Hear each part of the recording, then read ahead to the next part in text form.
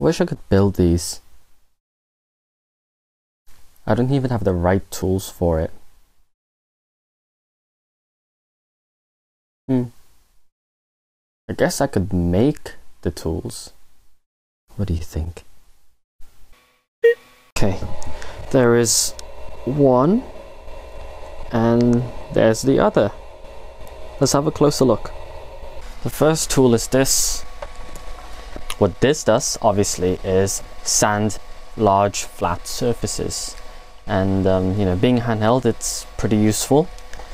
I mean, if you take this belt off, what you can see is uh, the motor here, which drives the whole thing, and this other roller, which if you use this lever, it pushes and pulls, as you can see, and that um, tensions the belt. While at the same time keeping the belt at an angle where it just won't slide off. I'll be building a table for this and mount it in a way where I could sand small pieces if this thing actually fits. There. The second tool is what's called a jigsaw.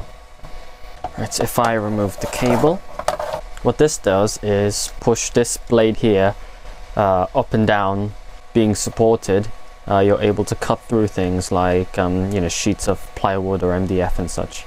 What I'm going to do is mount this underneath a table and have some sort of support which holds the end of this blade.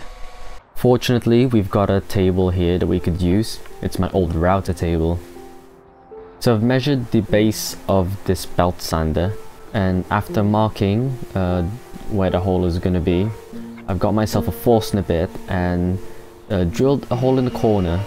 It was pretty rough. Uh, where I could put a jigsaw and actually cut the square bit. Ah yes. Well, even after filing, it uh, still doesn't fit and so needs a bit of widening. Well, if you want to put a plug in it, you better widen that hole once more. And now the plug fits. And so do the rest of the belt sander. Well, isn't that lovely? So I'm going to have this main frame here which will hold the whole thing together. Again, I've marked where it's uh, going to be, as well as the, well, a cross, let's say, to uh, mark out the center, like so. Or not. Um, okay. I guess I've opted for two instead of one. I think it's probably a good idea. So I've drilled those holes. Looks like I've um, pushed the mainframe into that hole and drilled two holes from that. Okay. Well, to uh, fit the screws, I've just used the drill again. Please don't step on these. And now it's coming together. Now let's focus on the dust extraction. So uh, I've drilled two holes and turn it into slot using the jigsaw. And to put a vacuum hose, I've got a block of uh, wood, which I've measured the um, diameter of this vacuum hose, which is 35 mil. And to uh, you know stick it in, I've used what is called cork, or in America, cork. Right, just push that block of wood in, and with some supports, I've nailed onto it, and which the battery died. Excellent. Now the next day, and um, fitted everything back in, just a bit of a recap. I'm going to be putting some arms onto it to actually hold the belt sander in place. But since the mainframe is a bit too narrow, I've drilled and stuck some extra um, like wood in it to make it much wider. And as you can see, the arms are gonna hold on like that. And so, to drill the hole where the bolt is gonna fit through, there it is and the arms. Ah, this looks easy. This will be easy. No, wait. Now a little variation from the plans that I used is a bed which I'm going to be, you know, placing the pieces on and um, sanding onto. So after marking even more holes and even more drilling with first world problems, the drill died. I used a wide one instead, which is much heftier and louder. Right, so I've drilled the uh, pilot holes onto the table Probably should have used glue because it's still wobbly but sturdy enough for this uh, mm, as a first timer. Now I've um, drilled the same onto the bed itself and uh, countersinking will be useful because heck is a bed. You want it to be uh, pretty flush. And that's the thing done. Now let's give it a go.